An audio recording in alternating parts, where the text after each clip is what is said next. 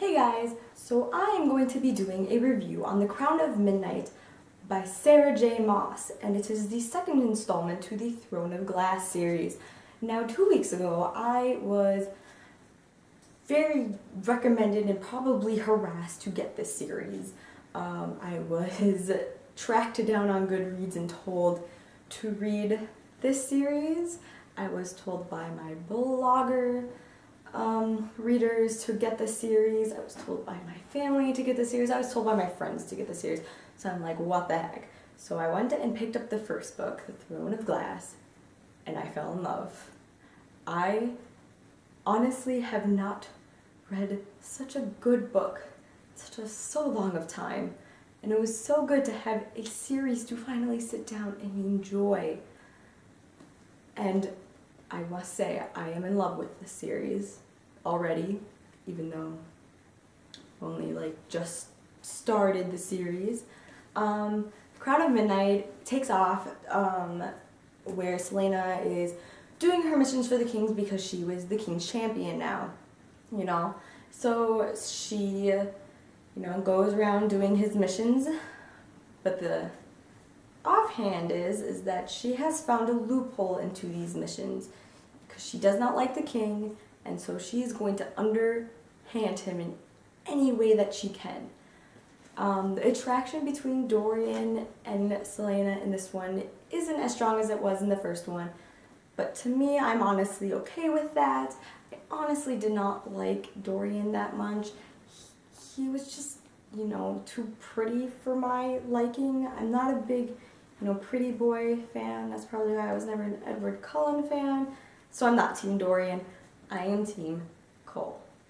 And I'm so glad that I am that team right now because after finishing this book, I am just 100% behind him. Another thing, which like threw me through a loophole, was the dirty little secret that Dorian has, even though he doesn't know his own dirty little secret. I was flabbergasted, I was shocked, I was in awe.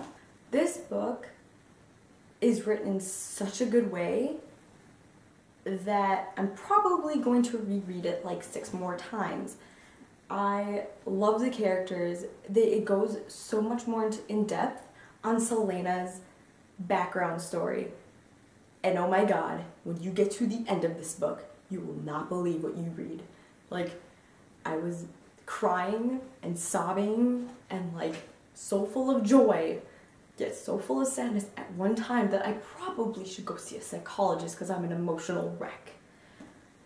I just, the ending, that is all I'm going to say, the ending was by far amazing. I, oh my gosh. So, um, look at the cover. Just look at it. Isn't it a beautiful cover? I just, I love this cover. It's like, out of all my books, one of my most favorite covers. Like, ever. Um, Nehemia. Oh, I'm going to cry. Nehemia. Like, what happened? Why? Why did this happen? I just, I don't know how to fully express my feelings towards Nehemia. I, I, I just don't know how to express it. And I wish I could tell you, but I'm not going to. So just get to maybe this page right there. Yeah, that page, you know, that page right there. I'm not going to actually show you the page because that would be just why. I am just over shocked. I'm very shocked and I honestly want to get my hands on the next book, The Heir of Fire, which I do not have yet, unfortunately. It, it, I wish I had it just so I could jump right into it and see what happens with Celaena and see what happens with Chaol I honestly just want to see what happens. I want to I want to see what happens in the next book. So I'm probably going to get it. Like now. I think I'm going to go to the store now and go get it. So I gave Crown of Midnight 4.5 out of 5. Sarah J. Maas, I am just impressed with you and your books and I cannot wait to read the next one. I can't wait, wait to read the next three because I found out that there's going to be six in this series. So Thank you so much for writing these books. See you guys later.